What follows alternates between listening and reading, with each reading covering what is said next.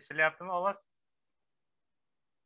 Ha yaxshi eshitilyapti hurmatli o'quvchilar hurmatli e, abituriyentlar mana bugundan boshlab e, romanovskiy nomidagi matematika instituti olimlari mutaxassislari abituriyentlar uchun e, oliy ta'lim muassasalariga tayyorlanayotgan o'quvchilar uchun onlayn darslarni boshlaydi. Qariyb bir yarim oy davomida to imtihonlar boshlanguncha onlayn darslar davom etadi haftasiga uch marta. Mana bugun birinchi onlayn darsni boshlaymiz. Bugungi ma'ruzachimiz matematika instituti kichik ilmiy xodimi fizika matematika fanlari bo'yicha falsafa doktori qobuljon abdurasulov demak bugungi belgilangan ma'ruzani boshlaydi darsimizni. Demak bu e, darslar davomida shu elementar matematikaning asosiy mavzulari. O'quvchilar uchun qiyinchilik tug'diradigan mavzular qiziqarli mavzular e, olingan. Ular bo'yicha e, shu olimlarimiz mutaxassislar tomonidan juda yam qiziqarli ma'ruzalar tayyorlangan. Demak o'sha bir oy bir yarim oy davomida shu ma'ruzalarni bizni institutimiz mutaxassislari olib boradi. Agar e, qarshiliklar bo'lmasa birinchi ma'ruzamizni boshlasak marhamat qobiljon so'z sizga. Assalomu alaykum hurmatli talabalar e, abituriyentlar. Bugungi darsimizda biz funksiyalarni ya'ni to'g'risi funksiyalar va kvadrat funksiyalar ya'ni abituriyentlarni oliy ta'lim o'quv yurtlariga kirishda imtihonda juda ko'p uchraydigan e, funksiyalardan biri bu to'g'risi funksiya va kvadrat funksiyalarni o'tadi. Biz asosan bu to'g'risi va kvadrat funksiyalarni xossalarini ularni grafiklarini keltirib o'tirmayapmiz chunki bu albatta sizlarga shu paytgacha o'rganib уже ma'lum bo'lgan. Biz asosan boshqa qandaydir tenglamalarni tengsizliklarni va boshqa masalalarni shu funksiyalar yordamida soddaroq ishlash yo'llarini hamda bu funksiyalarga doir ba'zi bir xossalarni o'rganamiz. Demak agar qarshi qilmasalar boshlaymiz. Demak hammamizga ma'lumki y barobar kx plyus b ko'rinishidagi funksiyaga to'g'ri chizib deyiladi. Bu yerda k burchak koeffitsiyenti b esa qandaydir qandaydir son y barobar ax kvadrat plus bx plus c ko'rinishidagi funksiyaga esa andan foyda kvadrat funksiya deyiladi. E, sizlarga ma'lum to'g'ri chizig'ini grafigi to'g'ri chiziqdan iborat bo'ladi. Kvadrat funksiyani grafigi esa paraboladan iborat bo'ladi. Demak agar a noldan katta bo'ladigan bo'lsa bu holda parabolani shoxlari tenga qaragan bo'ladi? A noldan kichkina bo'ladigan bo'lsa bu holda parabolani shoxlari e, pastga qaragan bo'ladi. Biz demak grafni chizishlarga to'xtalmaymiz. Э, asosan xossalardan boshlaymiz. Oxirgi yillarda e, oliy ta'lim o'quv yurtlariga kirishda tushayotgan imtihonlarda asosan e, bizga ma'lum bo'ldiki tushayotgan misollar simmetrik tushunchasi. Ya'ni qandaydir bitta funksiyani beradida e, va boshqa chiziqqa nisbatan simmetrik funksiyasini toping. Yoki bo'lmasa koordinata o'qlarga nisbatan koordinata boshiga nisbatan simmetrini toping degan misollar tushadi. Man hozir shularga to'xtalamiz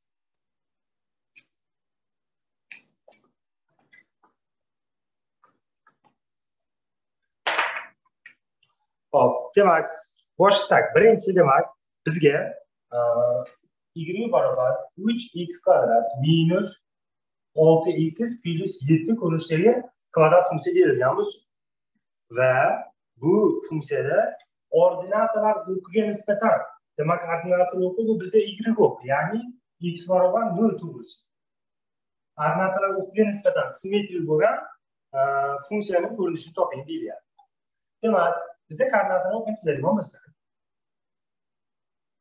demak ordinatani o'qi demak o y o'qi bizda ma'lum demak o y bo'lsa bu yerda qanaqadir bitta a nuqta bo'lsa x y bunga nisbatan simmetrik bo'ladigan bo'lsa qancha masofa kelganmiz shuncha davom etadi demak buni biz a ishtirok x ishtirok y ishtirok deb belgilasak u holda u holda bizda ko'rinarli bo'lyapti tushunarli ko'rinib turibdiki bizda demak y y ishtirokga teng ya'ni y ishtirok bu aynan y a ximiz esa aynan bizda simmetrik bo'lgandaki simmetriya xossasiga ko'ra bu masofa bu masofaga teng bo'lishi kerak shuning uchun x ishtirok barobar minus x ko'rinishda bo'lar ekan demak bizda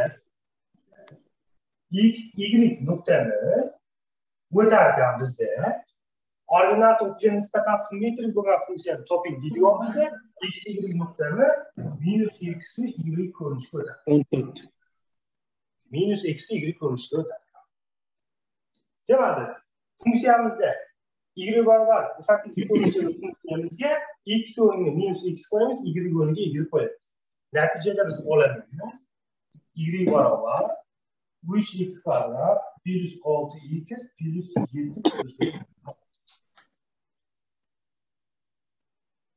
endi bu koordinatalar o'qiga nisbatan simmetrik edi umuman olganda absisalar o'qiga nisbatan bo'lishi mumkin ya'ni ox o'qqa nisbatan.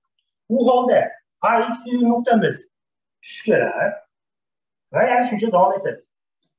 A ikki ishtirok x ikki ishtirok y ikki ishtirok baribir nuqta endi bu yerda nima o'zgarmay bo'ladi demak bu perpendikulyar tushgandan keyin x nuqtani koordinatasi o'zgarmaydi.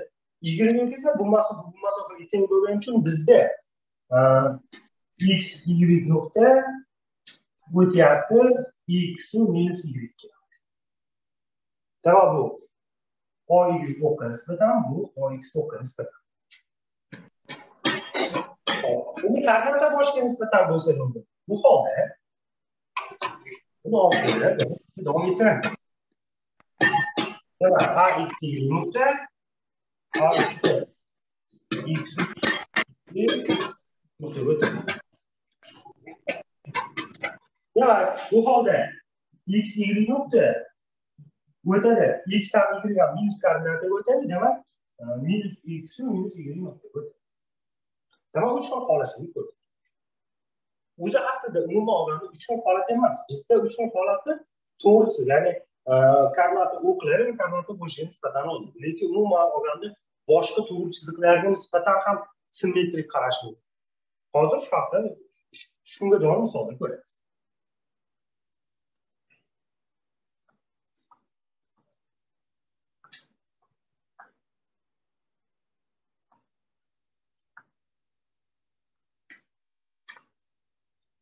demak bizga bizga berilyapti misol y barobar minus to'rt x plyus o'n besh funksiyaning x barobar bir to'g'ri chiziqqa nisbatan simmetrik bo'lgan funksiyani toping deyapti simmetrik bo'lgan funksiyani toping deyapti demak qanday qilib yechamiz demak bizda qanday topilishi sal x. Y demak x barobar birga nisbatan deydi mana x barobar birni chizaylik demak mana bu yerda qanaqadir x y bo'lsin bizda aytaylik shu funksiya nuqtasi shu funksiyada yotsin yoki umuman bu funksiya emas ixtiyoriy funksiyada x barobar birga nisbatan simmetriyaga qanday topiladi demak x y bizga nuqta berildi demak buni simmetriyaga qancha kelganmiz bo'lsa shuncha davom etadi mana aytaylik a ishtiroq x ishtiroq y ishtiroq bo'lsin demak bu yerda bu perpendikulyar bo'lgani uchun bir biriga simmetrik bo'lyapti perpendikulyar bo'lgani uchun y shtrix bu yga teng ana endi bizda x shtrix ya'ni bu chiziqdan a nuqtagacha va a shtrixgacha bo'lgan masofa teng bo'lgani uchun bizda ya'ni x shtrix va x nuqtaning o'rtasi bizda aynan shu chiziq bo'lib qolyapti ya'ni. X barobar bir demak x shtrix plyus x ta'sir ikki bu bizda birga teng bo'lishi bu yerdan x shtrixni topadigan bo'lsak ikki minus x bo'ladi ana endi bizda bu funksiyaning x barobar bir to'g'risiga nisbatan simmetriya qanday ko'rinishi kerak bo'ldi degan qanday ko'rinish kelishini topadigan bo'lsak bu holda bizda x y nuqtamiz o'tarkan ikki minus x y nuqtaga biz endi xuddi shuni funksiyani o'rniga qo'yadigan bo'lsak Virgülü var var minus'tan tuvur. 2 minus x'u plus 15. Cevabı virgülü var var. 4x plus 7 konuşları funksiyonu kenar. Demak, bizda toplamda oson. Endi keyingi misol ko'raylik. Keyingi misol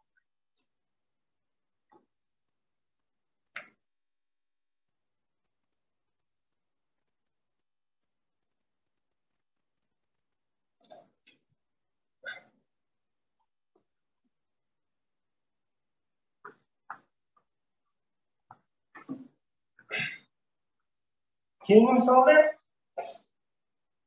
başka çok olsun diyebilirim bu yüzden. Mesela y var var. Minus 4x plus ıı, 15 funksiyamızı 10 ilgili verilmiş söylediğimizde x var var 1 emas y var var 2 to'g'risida nisbatan simmetrik toping desa ya'ni y var var 2ga simmetrikni topishimiz Beni bu yılda kanlar böyle. Ama yani tarafı bir çize. Kanlar, tekrar kanlar transferimiz ister. İyi görürüz. Ama iyi var iki. Bu mana bu çize. İki daha bu çize. Ve bizde şimdi kaysları A.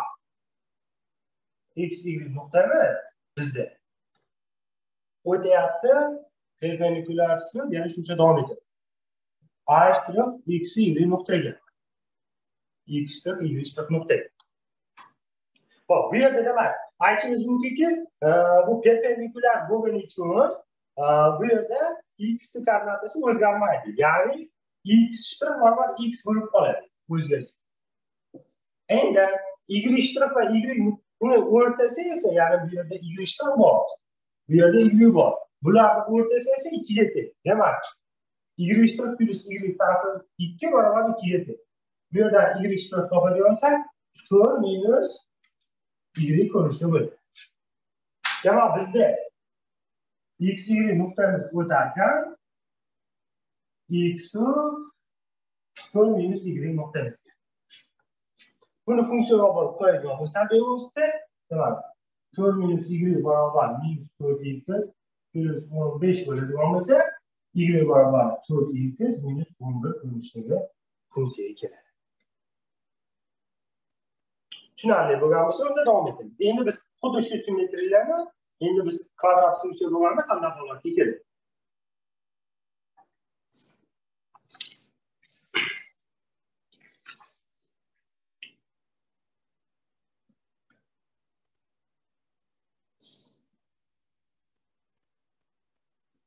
o'zi umuman olganda biz mana e'tibor berdik bu chiziqqa nisbatan o'tkazayotganimizda bu misolda va bundan oldingi misolda biz funksiyaga e'tibor berdikmi?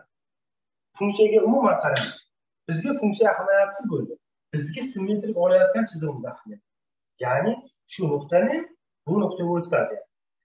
Demak ixtiyoriy nuqta x nuqta demak x y nuqtaga o'tganda y barobar ikkiga nisbatan x y nuqtani nuqtani koordinatalari ushbu ko'rinishda bo'ladi. Demak bizda y barobar fx funksiya berilgan bo'lsa bu holatda bizda bunga nisbatan ya'ni y barobar ikkiga nisbatan simmetrikmi? Bizda o'tarkan to'rt minus y barobar fx ko'rinishidagi funksiya. Umumiy ko'rinishda shu funksiyaga o'tadi endi shundan shundan bo'lsa ham kvadrat funksiyaga doir bitta misol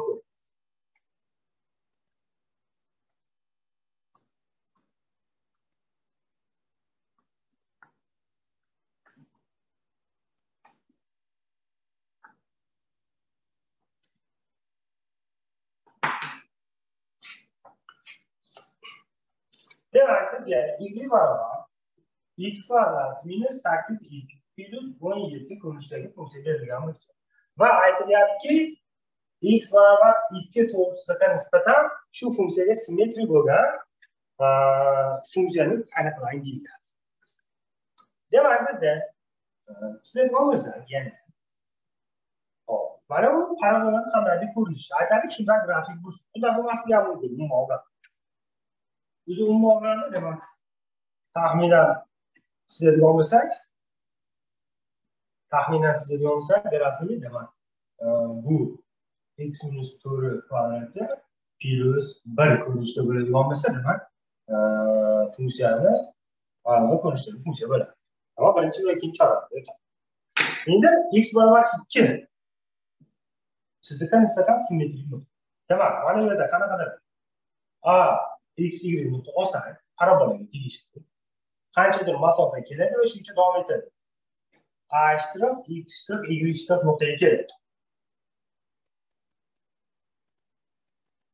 demak bizda ko'rinib turibdiki y koordinatalari o'zgarmaydi ya'ni y ishtiroq barobar y va x va x ishtirokning o'rtasi bizda ikkiga teng ya'ni agar bu x ishtirok bu x bu x ishtirok bo'ladigan bo'lsa ularni o'rtasi ikkiga teng. Ya'ni x plyus x ishtirok taqsim ikki barobar bu yerdan x ishtirok topadigan bo'lsak to'rt minus x ko'rinishidagi e, ifodani olamiz.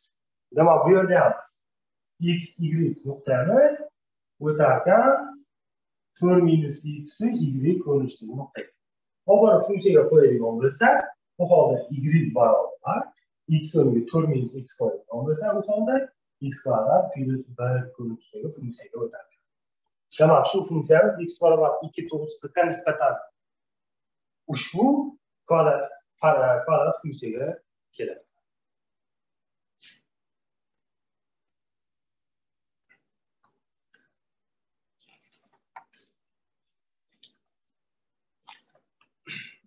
demak simmetrik tushunarli bo'lgan bo'lsa agar yana simmetrikka doir qandaydir sizlarni qiziqtirgan savollar yoki qanaqadir yechimi qiyin bo'lgan misollar bo'lsa bemalol bizga bog'lanib xabar qoldirsanglar keyingi darslarimizda u savollarga javob berib o'tib ketamiz. Endi e, funksiyani boshqa xossalariga o'tamiz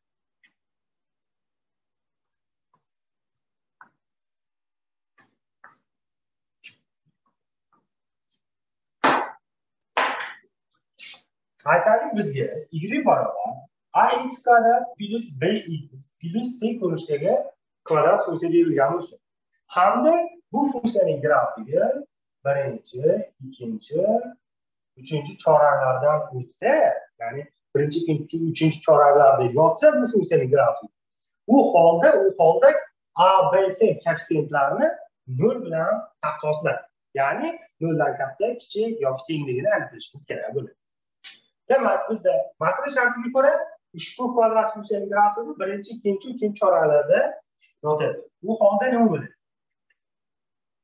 Demak bo'lishi mumkin. Mana bunday ko'rinishda kesib o'tadi. Yoki ikkinchi holatda bo'lishi mumkin ya'ni koordinatani boshdan o'tib ketishi mumkin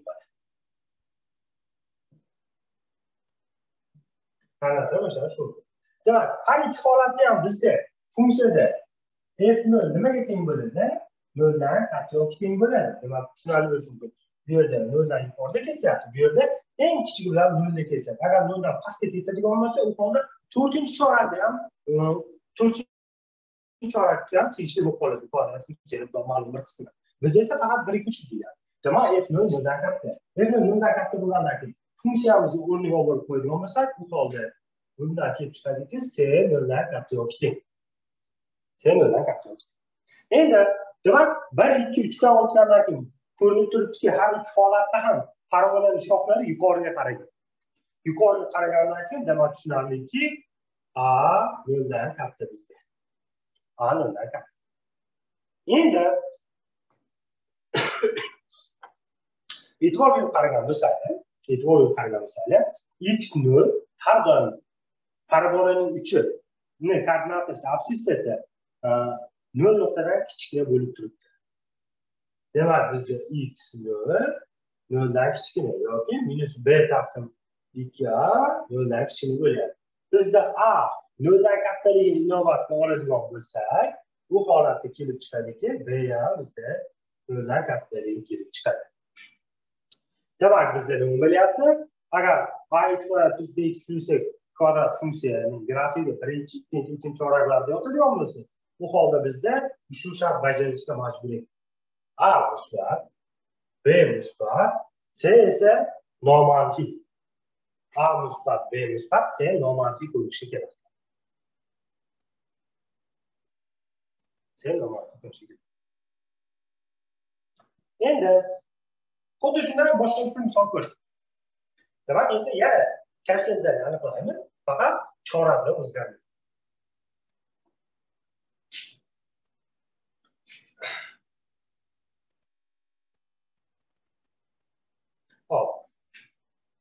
Devam edelim.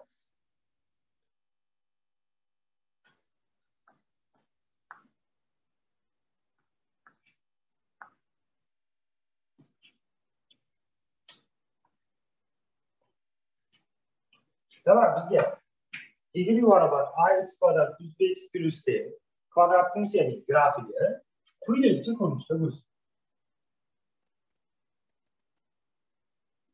Şu konuştuğumuz demak navbatlarda barcha choraklarda yo'q barcha choraklarda yo'q ho'p.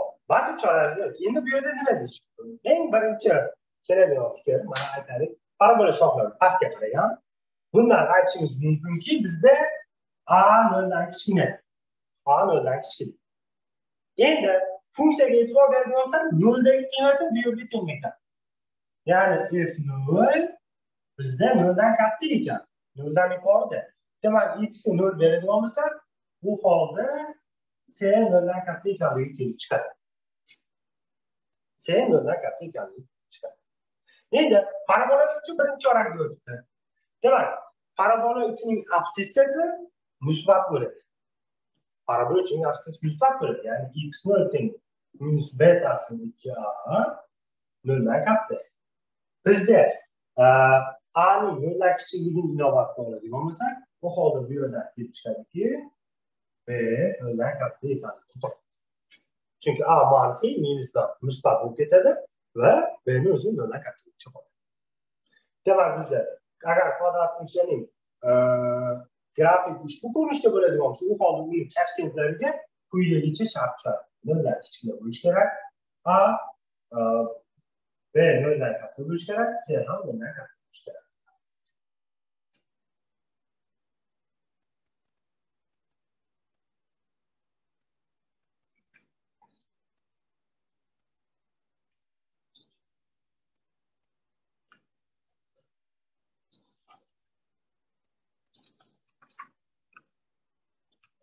Demak, endi boshqa bir quyidagi misolni ko'ramiz.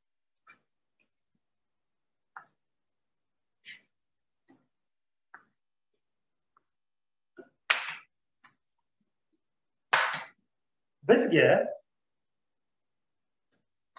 y barabar x kvadrat minus 3 eksi plus 2 görüşte kvadrat funksiya verir. Ve y barabar x minus 3 doğrusu verir. Masalada aytyaptiki ushbu kvadrat funksiyaning grafigida ushbu to'g'ri chiziqqa eng yaqin bo'lgan nuqtaning absissasini topishimiz kerak. Ya'ni agar aytadigan bo'lsak bu kvadrat funksiyaning grafigi ushbu ko'rinishda bo'ladigan bo'lsa va bu to'g'richig'imizning grafiki bu to'g'richig'imizning grafigi ushbu ko'rinishda bo'ladigan bo'lsa kesishmaydi. Kesishmaydi. Ushbu ko'rinishning eng yaqin nuqtani absissiyasini topishimiz kerak bo'ladi endi buning uchun nima qilamiz? Demak bizga qanaqadir shu nuqtani biz x nol y nol deb olsak bu parabolaning uchi emas bu parabolaning uchi emas. Bu qandaydir x nol y nol nuqta bo'lsin. Demak shu parabolaga tegishli va ushbu to'siqqa eng yaqin bo'lgan nuqta bo'lsin. U holda bu parabolaga tegishli nuqtami? U holda bizda mavjud bo'ladiki quyidagi tenglikni olamiz yigirma nol barobar x nol kvadrat minus uch x nol plyus ikki ana endi ana endi biz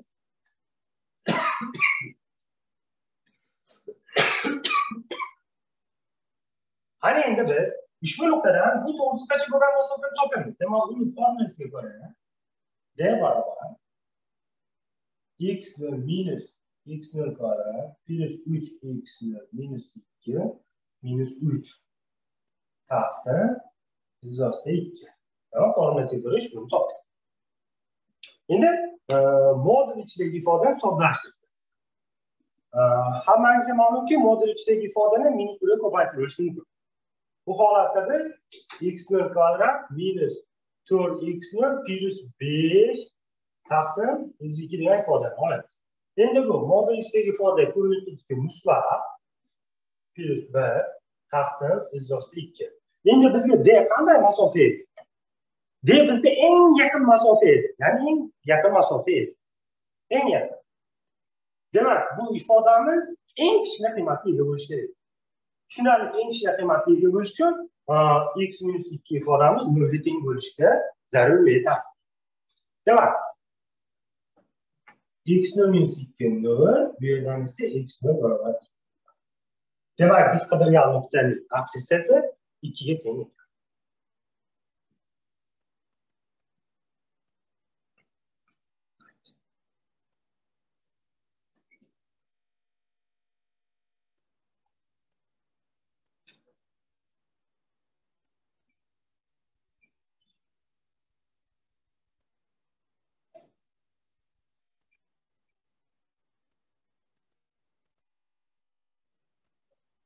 Demak bu agar bu misolda va boshqa misollarda ham sizga qandaydir savol bo'lsa bemalol murojaat etib e, savol berishinglar mumkin. Ya'ni sizlarga shu haqida e, ma'lumot beramiz to'g'riroq javob beramiz.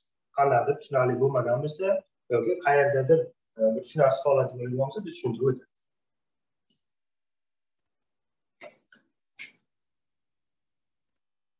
Endi davom etsak. Endi biz kvadrat funksiyani o'zini xossalarini emas balki kvadrat funksiyani qo'llab turib ishlaydigan misollardan keltiramiz bir nechta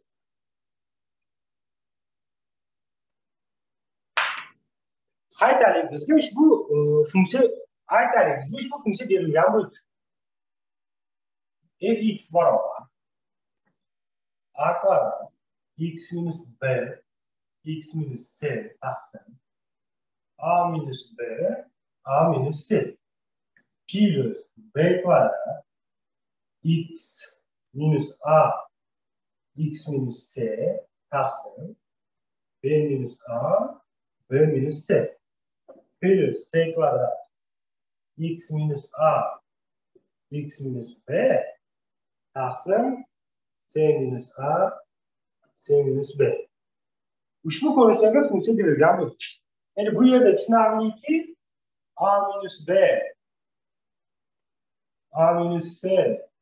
B minus c. Noldan farqli hisobda markazda bo'lib qoladi bizga ushbu funksiya berilgan bo'lsin va aytish mumkin bu funksiyani e, qanaqadir xususiyatini aytaylik f ikkini toping deyish mumkin yoki f minus birni topish mumkin toping deyish mumkin ya'ni minus bir nuqtadagi fosilasini hamda minus bir nuqtada fosilasini toping deyapti lekin bu to'g'risida to'g'ridan to'g'ri biz agar hosni olib ishlaydigan bo'lsak ancha vaqtimiz yo'qotadi ancha vaqtimiz oladi demak e'tibor berib qaraydigan bo'lsak bu yerda x kvadrat hosil bo'ladi kvadrat bu yerda ham kvadrat bu yerda ham kvadrat. Umuman olganda bu nima ekan kvadrat funksiya kvadrat funksiya demak kvadrat funksiya umumiy ko'rinishni biz yoza oladigan bo'lsak bu yerda abc koeffitsient kelgani uchun boshqacharoq yozib fx barobar a x kvadrat plyus bx plus c ko'rinishidagi funksiya bo'lsa ya'ni bu funksiyani soddalashtirganimizdan keyin shu holatga kelsin endi funksiyaga agar x ni o'rniga a qiymat beradigan bo'lsa f a nimaga teng bo'ladi bu yerga qo'ysak a minus b a minus c qisqarib ketadida a kvadrat hosil bo'ladi bu yerga kelsak a dan a narsa nol bo'lib ketdi uchinchi harf a dan a narsa nol bo'lib ketdi demak if I think I clutch. End up bırakayım ben ne olsun. Demek birinci ifade B minus B nöl bulup gittim. İkinci ifade B minus A, B minus C. İster bitse B kvadrat. Ve üçüncü ifade B minus A, B minus B nöl bulup gittim. Endi sen qiymatini bilmoqsan. Hepsi. Hepsi. Demak, bir de senin üstü senin üstü. Birinci ifade nöbet. İkinci ifade yere nöbet. X min sene sabigen. Üçüncü ifade senin üstü ve senin üstü. Demek seyf var. Devam mı? Bizga ma'lumki har qanday kvadrat funksiya uchta nuqtasi ta'yin qiladi ya'ni uchta nuqtasi berilgan bo'lsa biz har qanday kvadrat funksiyani topamiz va u yagona chiqadi demak bizda ushbu shartni qanoatlantirgan kvadrat funksiya qanday bo'ladi f x var barobar x var kvadrat nima bo'lsa o'zini kodrati demak bu yerda koeffitsiyentlar b bilan c aslida nol a esa birga teng ekan ana endi bizdan nima so'rayapti x barobar minus bir nuqtada xoslismi yoki x barobar ikkidagi qiymatini so'rayapti endi bizga funksiya sodda ko'rinishimizga ketdi demak buni oson bilan hisoblashimiz mumkin masalan x ikki to'rtga teng minus birdagi hosilasi esa demak hosilasi x ikki ten 2x bölü 1 olması eşittir minüsü var ten 2.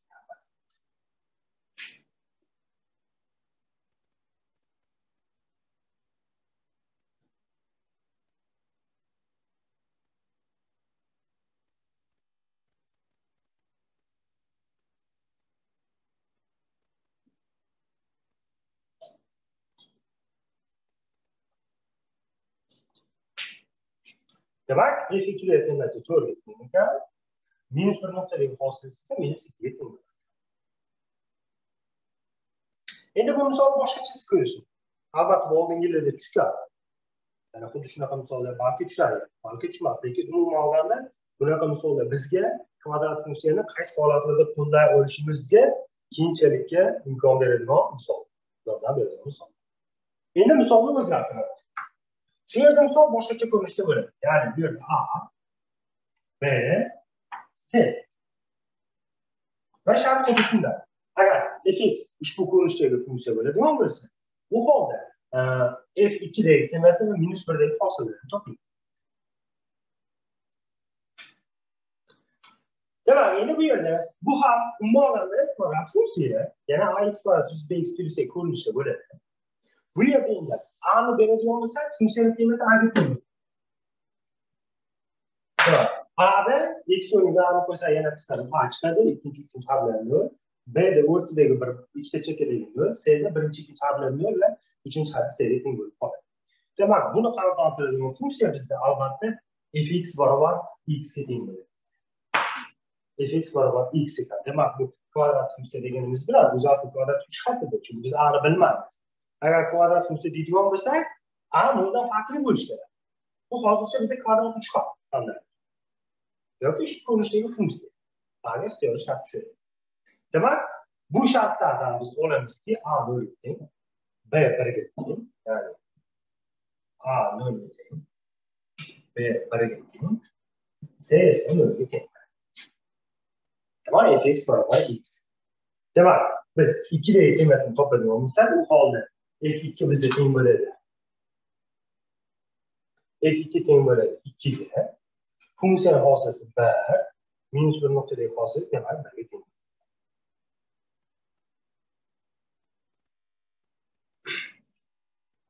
hop buni uchinchi tipi bor. Uchinchi tipida nima deydi? Uchinchi tipida abslar bo'lmaydi. Uchinchi tipida abslar bo'lmaydi. Bu holda abslar bo'lmasa abcdagi nuqtadagi qiymatlari albatta birga teng bo'ladi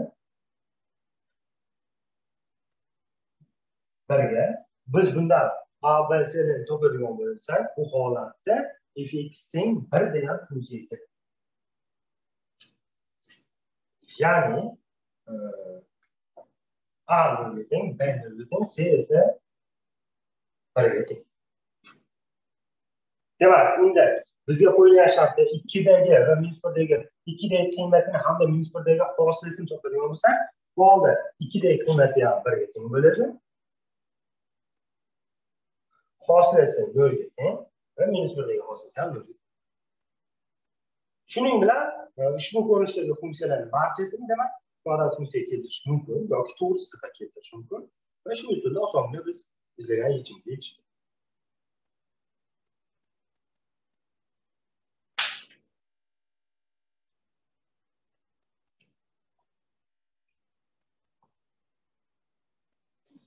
endi boshqa misol ko'raylik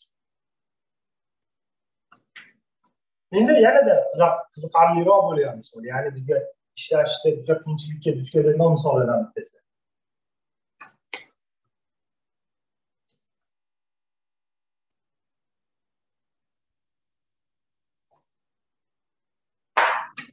demak x kvadrat minus k plus bir x plus k kvadrat plus k minus o'ttiz ikki barobar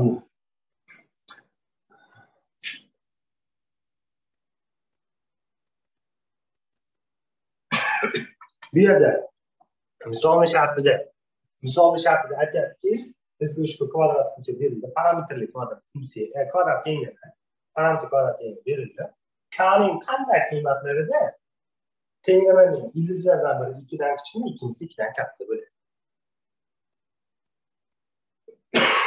agar to'g'ridan to'g'ri ildizni topib ishlaydigan bo'lsak e, bir qancha muammolarga qiyinchiliklarga duch kelishimiz mumkin. Agar biz buni funksiya deb qaraydigan bo'lsak bu holda e, qanday ko'rinishi kerak? Mana aytaylik. Biz tenglikning chap tomonini f x funksiya ko'rinishida oladi.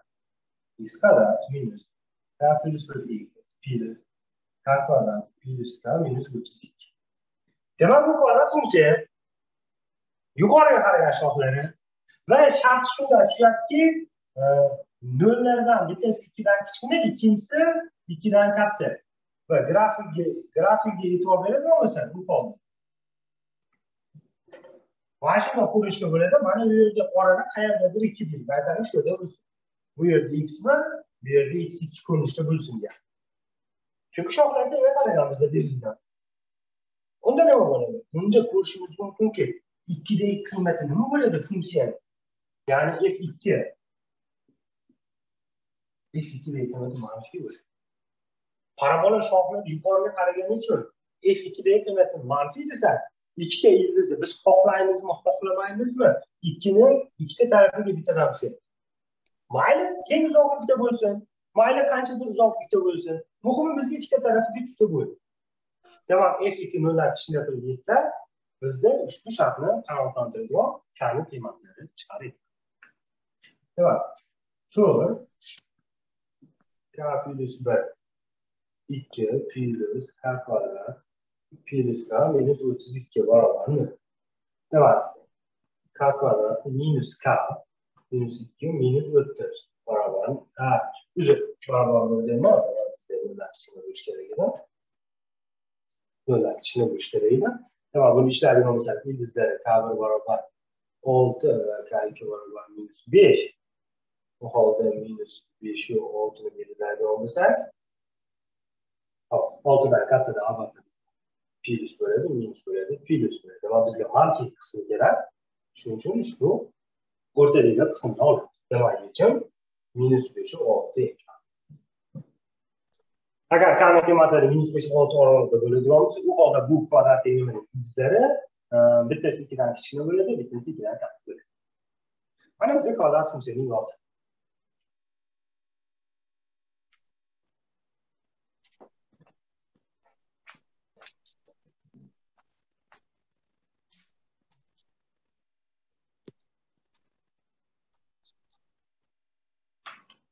endi buni umumiy holati bo'lishi mumkin ya'ni aytish mumkin aytaylik ikkita ildizi ham ikkidan kichkina bo'lsin yoki ikkita ildizi ham ikkidan katta bo'lsin bu holatda qanday shart bo'ladi shu o'zi yetarli bo'ladimi bo'lmaydimi ham buni hozir grafikdan ko'ramiz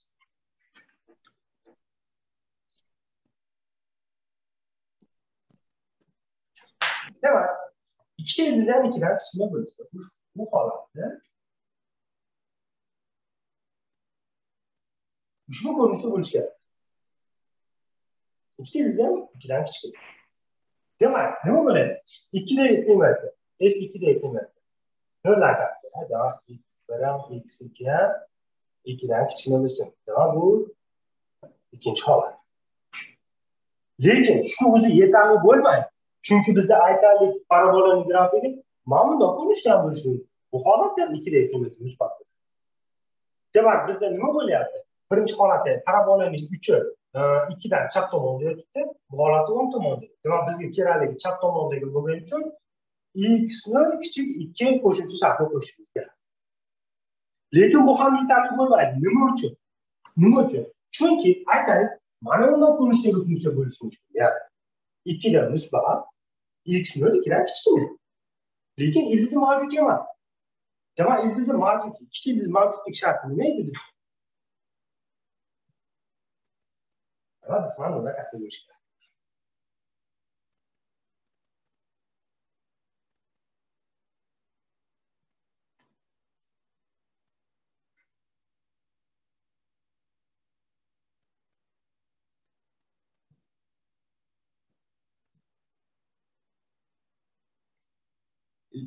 Endi albatta bu yerdan shart ko'payib ketib besh million o'n ko'p lekin umuman olganda shart ko'paygani bilan bizda faqatgina ko'rdinglar kvadrat tengsizlikka keladi demak buni yechimi oldin topgan yechimimiz ikkita tomoni bo'ladi ikkita tarafi ikkita chekkasi.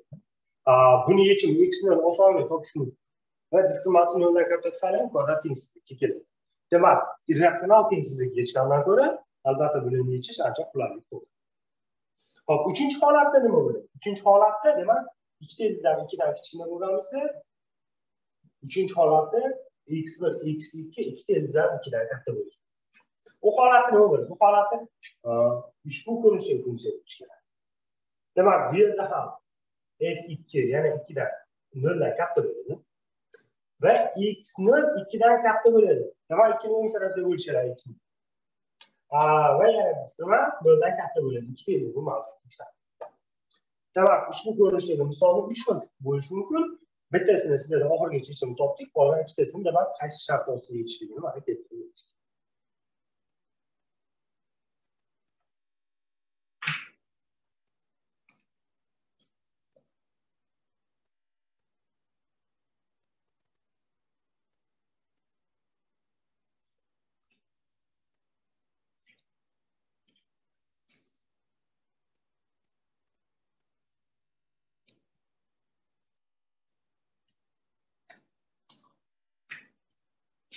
yana yana bitta qiziqarli misollardan birini keltiramiz. Demak buni sal umumiylashtirmasi bundan umumiyroq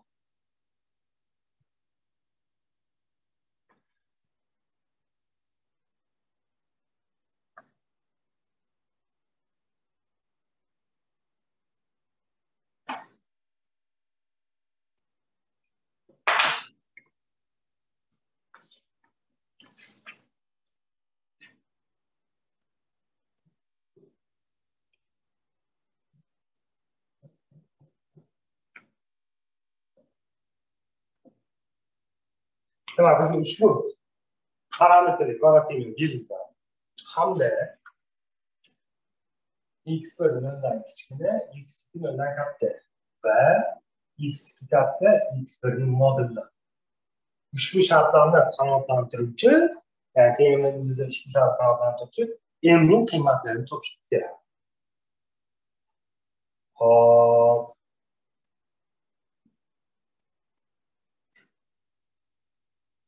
değil mi? Hayat ki bir yerde de ama bitirdiz mantığı bitirdiz müsbat. Bitirdiz mantığı bitirdiz müsbat. Tamam biz de bitirdiz mantığı bitirdiz müsbatla ilgili şartlarıma göre x1 koparyan x2 yani bu bölüşkeler bizde x1 koparyan x2 mantığı bölüşkeler. Demek bundan biz olamız ki minus m plus 1 taksir n noldan kichkina. Tamam, yuz veriyorsan sonra topla.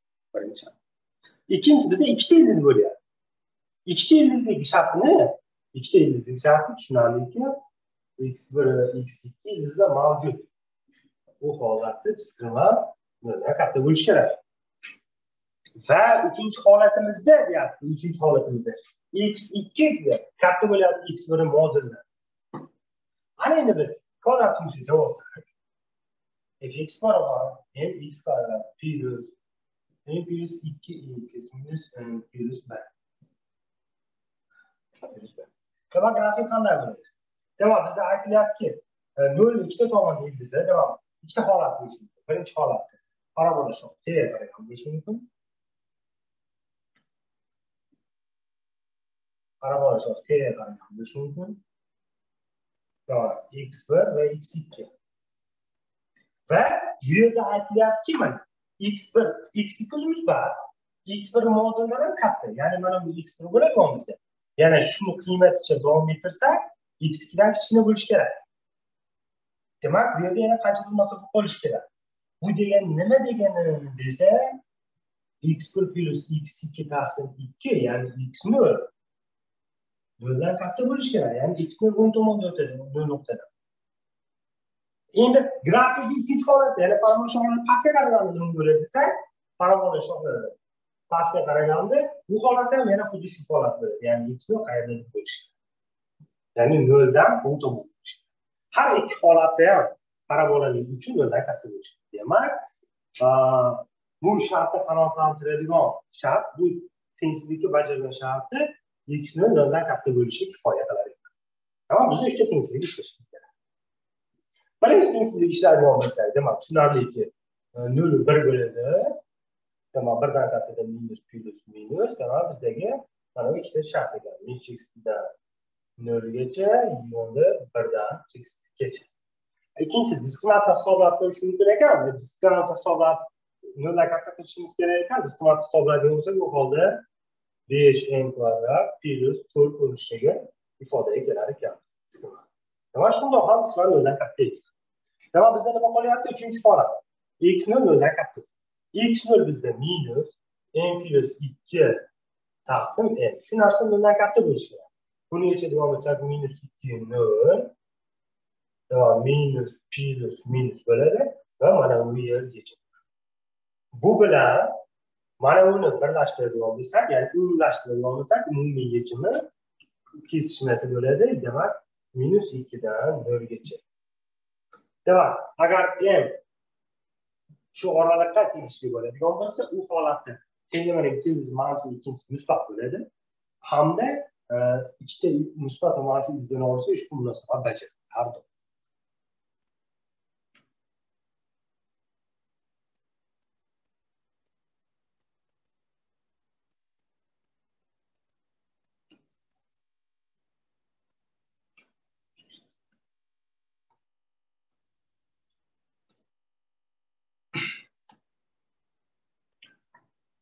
لكن ينصل وتأس ينصل شنال لوغانسكي ينصل وتأس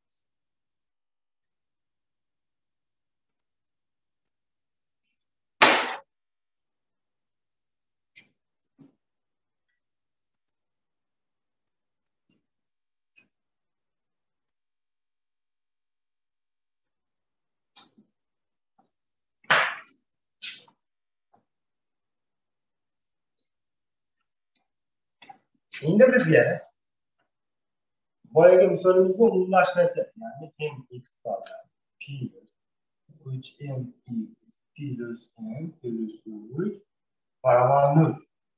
İşte bu kadar engemenin yaptı. x var minus 2 x 2 shartni qanoatlantiradigan yechimlari bo'lsa u holda ya'ni mni shunday qiymatlarni topib shu kartani dizayni shu shartni qanoatlantirsin agar x funksiya deb oladigan mx kvadrat plus uch mx plus m plus uch endi boya biz bildik aniq kvadrat funksiya yuqoriga qaraydi shoxlari tegib o'sishini bilgan endi bilmaymiz demak birinchi mana aytaylik m noldan katta bo'lsa bu holda bu holda qanday ko'rinishi bo'ladi qarama shoxlar yuqoriga qaragan hamda ildizlar shu shartdan demak mana uni ko'rinishda bo'ladi minus ikki bu yerda demak x bir va x2. mayli musbat bo'lsin manfiy bo'lsin minus dan o'ng tomonda bo'lsa yetadi bu holatda minus da qiymat nima bo'ladi manfiy bo'ladi hop. Ikkinchi holatda aytaylik m manfiy bo'lsa bu. Holda kvadrat funksiya shoxi pastga qarayapti va minus ikki o'rtada. Bu x1, bu x2 bo'lsa va minus ikkidagi qiymati bo'ladi biz ikkita holatni bo'lmasdan ishlashimiz uchun bizga umumiy holatni qanday yechim kelib chiqadi? Budan va bu shartdan m ko'paygan f minus ikkimi noldan kichkina bo'lishi yetarli. Agar biz shu tengsizlik yechadigan bo'lsak bu holda ushbu kvadrat tenglamani ildizlar orasida shu munosabat chiqadi demak m ko'paygan minus ikkidagi qiymati to'rt m minus olti Plus n plus 3. Küçüğün bölü. Tamam. n bölü 3 minus n. Daha. 0 3 minus plus minus 4'e böler. Tamam. Bunlar küçük olduğu için şu iki de kısım olamaz. Minus x'li daha. Minus x'li daha. 0 gece ve 3'ten 8 Tamam bizni eng qiymatimiz shu orolda bo'lib bu buxor ushbu kvadrat tenglamaning ildizlari ushbu shartni bajaradi shuning bilan kvadrat funksiyaga to'g'risida bag'ishlangan darsimiz yakunlaymiz agar sizlarda qandaydir savollar yoki tushunarsiz bo'lib o'tib ketib qolgan joylar bo'ladigan bo'lsa bemalol bizga murojaat etib shu milliy matematika platformasiga bog'lanib shu yerda izoh qoldirishinglar va shu yerda bizni e, elektron pochtamiz va telefon nomerlarimiz bor. E, aloqaga chiqib o'zinglarni e, qiynayotgan savollarni berishinglar mumkin. Biz keyingi darslarimizda har bitta berilgan savollarni e'tiborsiz qoldirmagan holda umumiy qilgan holda javoblarni berib boramiz. E'tiboringlar uchun rahmat.